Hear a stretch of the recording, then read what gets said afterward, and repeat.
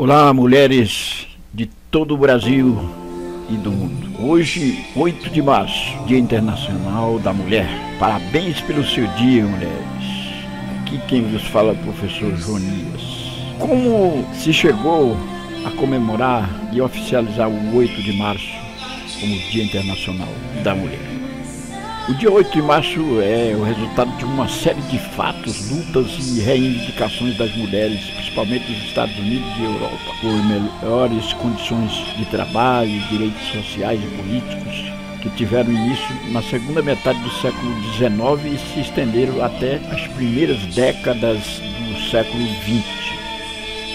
No dia 8 de março de 1857, trabalhadores de uma indústria têxtil de Nova York fizeram greve por melhores condições de trabalho e igualdade de direitos trabalhistas para as mulheres. O movimento foi reprimido com violência pela polícia em 8 de março de 1908. Trabalhadoras do comércio de agulhas de Nova York fizeram uma manifestação para lembrar o movimento de 1857 e exigir o voto feminino e fim do trabalho infantil. Este movimento também foi reprimido pela polícia.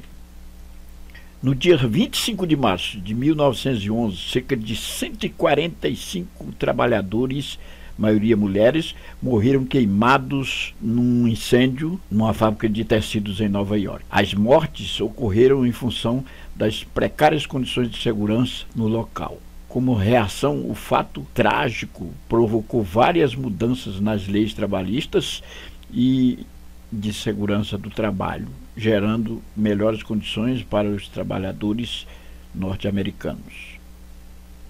Porém, somente no ano de 1910, durante uma conferência na Dinamarca, ficou decidido que o dia 8 de março passaria a ser o Dia Internacional da Mulher, em homenagem ao movimento pelos direitos das mulheres e como forma de obter apoio internacional para a luta em favor do direito de voto para as mulheres, sufrágio universal. Mas somente no ano de 1975, durante o Ano Internacional da Mulher, que a ONU, Organização das Nações Unidas, passou a celebrar o Dia Internacional da Mulher em 8 de março.